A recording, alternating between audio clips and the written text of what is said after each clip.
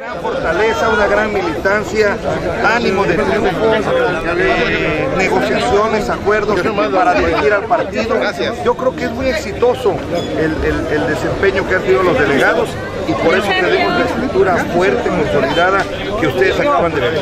Pues sin duda que el gran objetivo de sacar adelante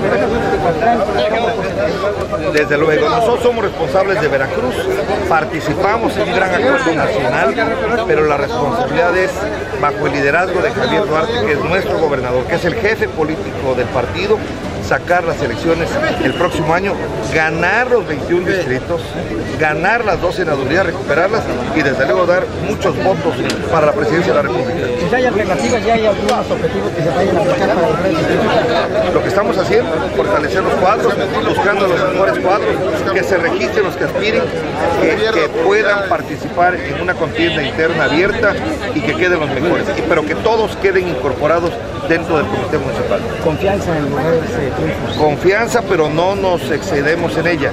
Confianza relativa, confianza pero con los límites que debemos tener porque sabemos que los demás partidos también están trabajando y también van a buscar ganar con unas posibilidades mucho menores ellos.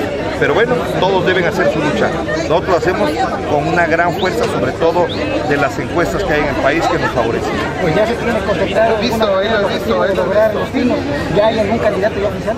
No lo hay. Tenemos el método que es una selección abierta para eh, simpatizantes, para militantes. Todo el que tenga credencial de elector puede votar y decidir quién es el candidato del PRI.